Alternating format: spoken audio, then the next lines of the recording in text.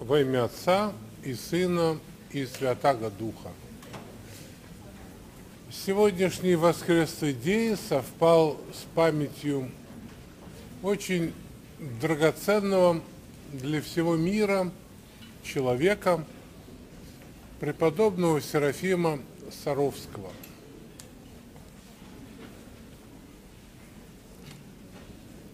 Для всего мира я однажды был в одной такой богадельне в Риме. Смотрел, как там все устроено. И увидел на стене иконку преподобного Серафима. Думаю, вот здорово. Все дороги ведут в Рим, и вот здесь преподобный Серафим у изголовья там, болящего человека. Хотя и итальянца. Это, конечно, замечательно. Преподобный Серафим однажды сказал, стяжи мирный дух, и вокруг тебя спасутся тысячи. Если бы мы не знали, что он зимой с руки кормил медведя-шатуна,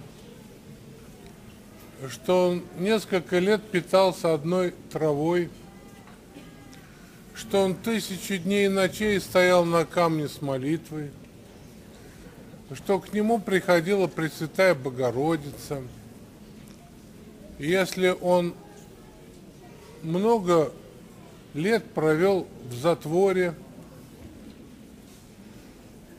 что он за неделю всю свою жизнь прочитывал Новый Завет, что он спал сидя и только по два часа, что он годами и в лютый мороз не топил в своей келье печь, хотя там была. А чтобы не быть праздным, он перекладывал поленницу из одного угла в угол другой.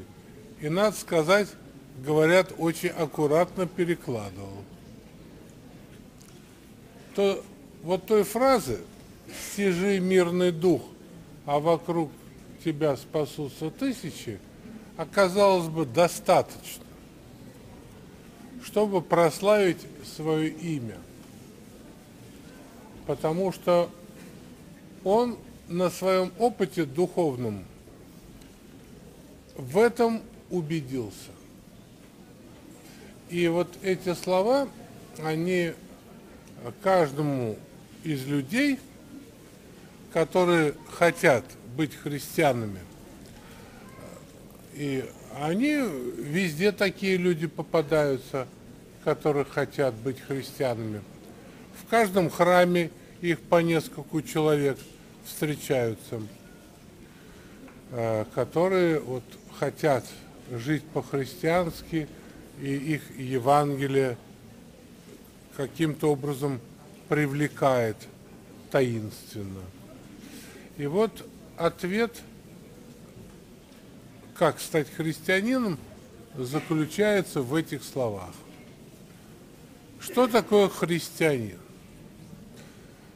Христианин-это такой человек, который стяжал мирный дух. Что такое дух мирен? В Писании сказано, что это дух Христов.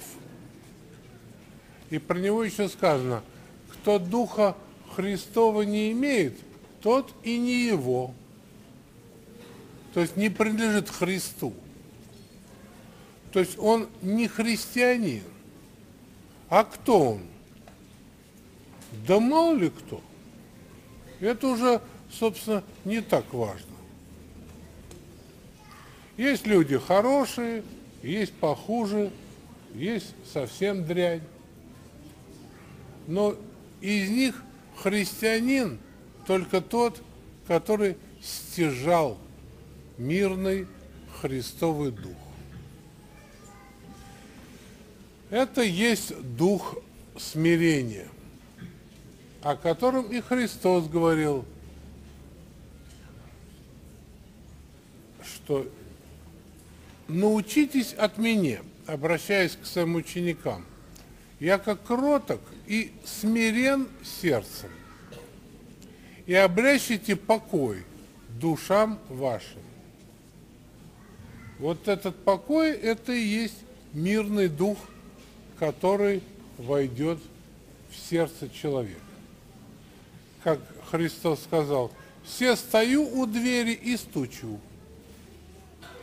И вот если человек сумеет открыть дверь своего сердца, то Святая Троица благодатью войдет в его сердце, и он станет христианином. То есть в нем будет тот же дух, который во Христе Иисусе. И только это есть христианство. А остальное все – это цирк зажигает огни. Та-та-та-та-та-та-та-та-та-та. То есть одна сплошная показуха, или как Александр Исаевич написал – в своем бессмертном произведении туфта. Надо это хорошо понимать. Христос очень туфту не любил. И говорил, обращаясь к апостолу, он, конечно, такое слово не знал еще, потому что еще не построены были лагеря. И чтобы выжить э, в этих лагерях, люди там гнали туфту, вместо того, чтобы выполнять эти нормы, потому что их выполнить никак нельзя, а нужен отчет. Потому что начальству нужна же не норма, а что нужно? Отчет. Вот. И поэтому вместо нормы отчет. И вот этот процесс, он и называется туфта. Господь говорил ученикам, если ваша праведность не превзойдет праведность фарисеев, то вы не можете войти в Царство Небесное. Потому что как раз фарисейство – это есть та туфта, который человек заменяет христианство. Это такая потемкинская деревня. Деревни-то нет, а есть раскрашенная фанера, изображающая деревню, как в Мосфильмовском павильоне. И вот каждый человек, если он хочет быть христианином, он должен не стремиться вот все так изобразить с помощью гуаши, ПВА, кистей, а чтобы это все было настоящее, подлинное. А настоящую и всего-то ничего. Стяжи мирный дух, и вокруг тебя спасутся тысячи. Почему? Ну, потому что Бог гордым людям противится – и только смиренным дает благодать. Всем остальным не дает. Поэтому вся их вера, все их благочестие, вся их воцерковленность – это никому не нужная, не настоящая вещь, показуха.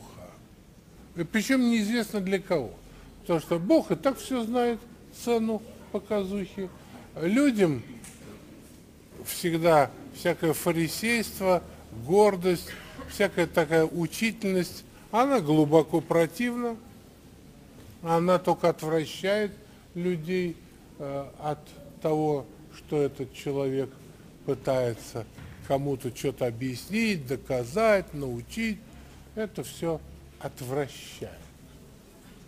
Поэтому, собственно, наша деятельность и столь безуспешна, особенно в воспитании наших детей. Потому что научить христианинам быть теоретически это невозможно. Только если человек практически осваивает. Поэтому святые отцы называли христианство искусством всех искусств. А в искусстве очень важно, когда человек сам проходит это ученичество и знает, чего он хочет достичь. То есть теоретически он узнает, а потом практически это реализует в своей жизни, как преподобный Серафим Саровский и сказал, «Стяжи мирный дух, и вокруг тебя спасутся тысячи». А как же они так будут спасаться? Когда Христос пришел на землю, стал говорить, стал делать, то вокруг него спаслись сразу не тысячи. Он мало прожил на земле. Но человек около 600-700 пришли к спасению. От чего так? От того, что в нем был Дух Святый. И его поступки, они исходили не из того, что он делал все как надо. Нет. Он делал, исходя из того, что повелевал Дух Святый. Он с ним находился в постоянной гармонии, в связи и с Отцом Небесным, который его послал на землю, и с его благословения, и с его согласия сыновнего произошло вочеловечивание. И ученики глядели и очами своего тела, и очами души. И Пресвятая Богородица все видела и слагала все в сердце своем. И так через некоторое время они стали христианами. Когда они стали христианами?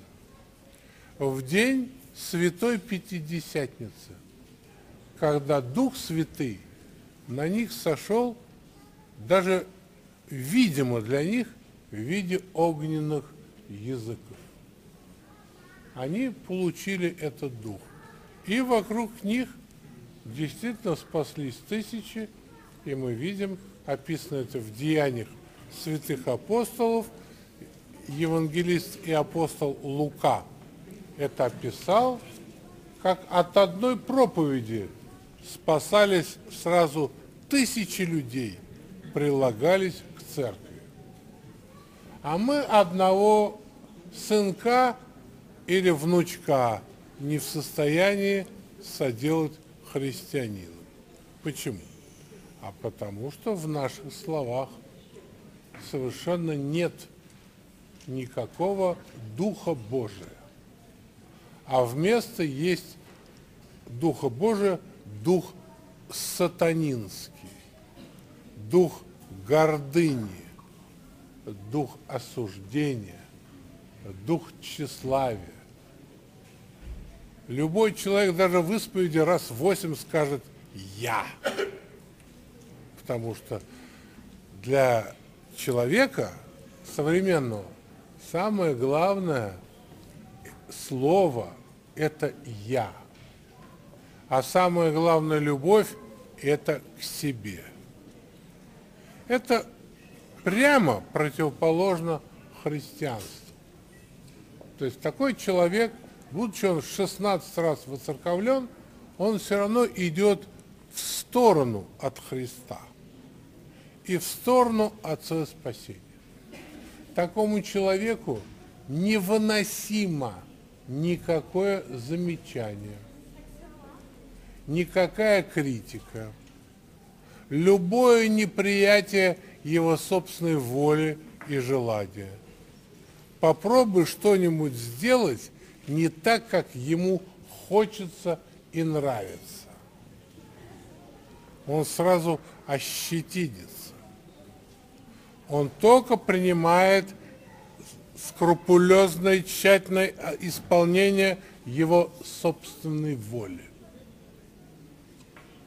А во Христе все наоборот. Поэтому жизнь фарисейская, она противоположна жизни христианской. Поэтому Христос с большим сожалением говорил, горе вам, фарисеи лицемеры. А в чем лицемерие? В чем тут цирк?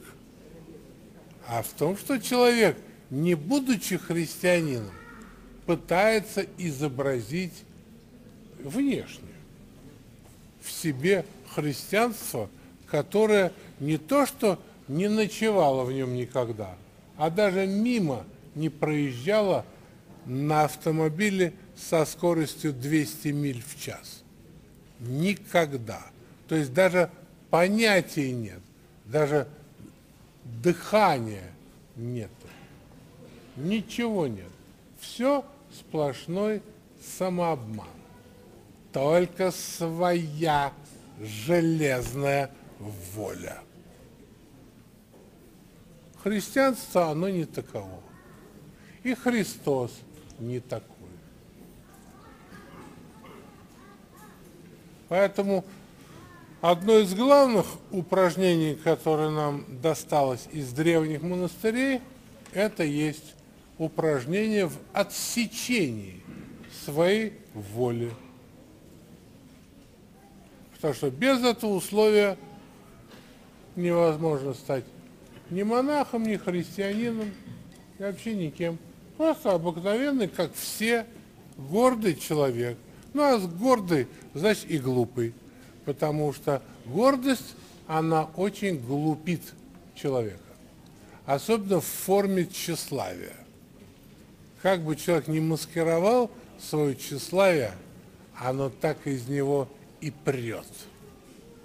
Это и в походке, и в выражении лица, и в речи, и в одежде, во всем, во всем.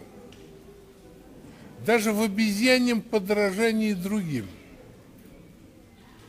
То что так, э, как большинство людей, ни ума, ни вкуса, а автоматически подражает другим. Ну и что? Опять же, та же самая фанерная гуашью раскрашенная деревня. И если человек в это входит и тратит на это жизнь, что получается? Жизнь бессмыслица. Поэтому от таких проповедников христианства люди бегут, полы подняв, чтобы только поскорей, подальше и не слышать, и, и уйти. Эти люди всегда раздражительны. Эти люди всегда жалуются. Они всегда всем недовольны. Им непонятно. Им кажется, что если Серафим Саровский говорил, радость моя, Христос воскресе в январе, то им кажется, что это такая у него была шутка. А некоторые имеют дерзость это повторять за Серафим Саровским. Но тут не Серафим. Это еще выглядит тошнее, когда человек усваивает себе то, кем он не является. И никогда не знал, что это такое. И даже людей таких, таких не видел. А если видел, то и не мог их даже определить, что перед ним такой божественный человек. И вот э, преподобный Серафим, очень близкий нам святой, современник Александра Сергеевича Пушкина. Можете представить, вот в то же время он жил. И вот он нас этому научил. Поэтому мы должны очень глубоко, ну, для начала запомнить, потом долго размышлять над этой фразой. В ней очень много есть ответов на то, как нам жить, как воспитывать наших деток, как относиться к той жизни, внутри которой мы оказались в нашу современную эпоху.